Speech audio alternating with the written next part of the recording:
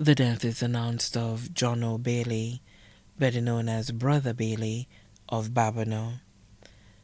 He passed away on Thursday, 29 September 2022 at 2.30 p.m. at the OKEU Hospital. He was 68 years old. The funeral service for the late Johno Bailey will be announced in a subsequent broadcast. The body now lies at Rambali Funeral Parlor, Calvary Road, Castries. May he rest in peace.